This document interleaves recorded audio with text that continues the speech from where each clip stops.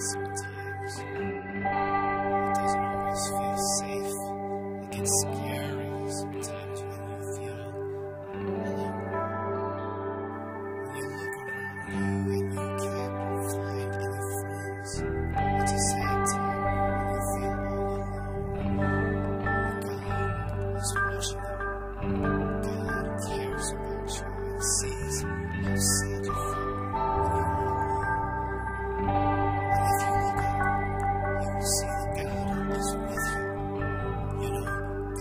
has made you special. He has given you the power to do something magical.